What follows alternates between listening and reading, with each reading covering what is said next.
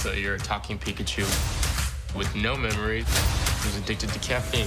This is what a Frenchman would call caliente fiesta. It's not French.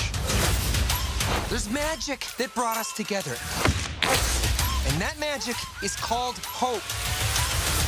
We're gonna do this, you and me. Use your body words. Where? Enough of the games. Say it. Just say it! Pokemon Detective Pikachu, only in theaters May 10th.